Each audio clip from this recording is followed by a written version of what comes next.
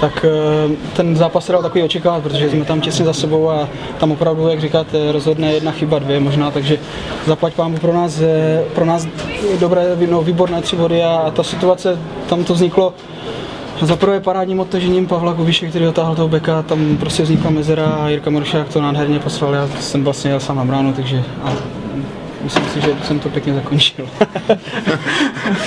To znamená, takže že to bylo krásné. věděl jste, co uděláte?